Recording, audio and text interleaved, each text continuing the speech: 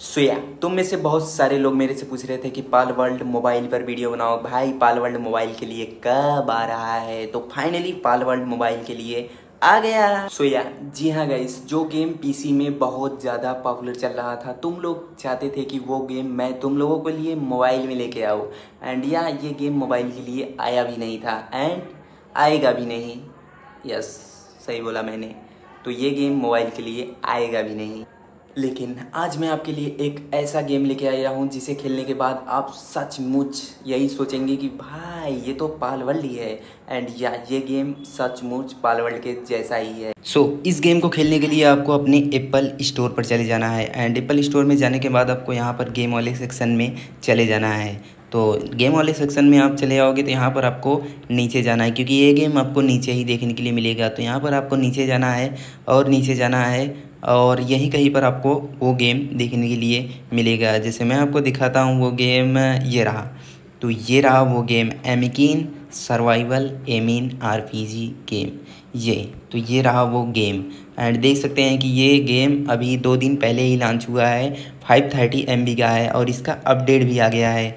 And यहाँ पर देख सकते हैं सेम टू सेम ये गेम वैसा ही है।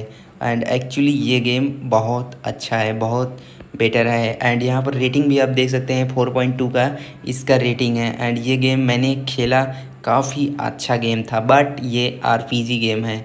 यानी आपको थर्ड पर्सन में नहीं देखने के लिए मिलेगा. तो यहाँ पर मैंने अपने गेम को स्टार्ट कर लिया है. एंड गेम स्टार्ट होने के बाद ये इंटरफेस भी आपको वैसा ही देखने के लिए मिलता है. एंड काफ़ी अच्छा लगता है. एंड यहाँ पर आपको चैरेक्टर एंड पाल्स दोनों को आप कस्टमाइज़ कर सकते हो। जैसे उसके चैरेक्टर का हेयर स्टाइल एंड उसका कपड़ा एंड पाल्स को भी यहाँ पर आप चेंज कर सकते हो। बाकी यहाँ पर मैं एक हेयर स्टाइल सेलेक्ट कर लेता हूँ, जैसे ये भी अच्छा नहीं है और ये ये ये कुछ खास नहीं है तो ये अच्छा है। तो मैं ये वाला ले लेता हूँ। तो गाइस स्टार्ट होते ही देरी नाइट कितना ज़्यादा कूल देखने के लिए लगता है।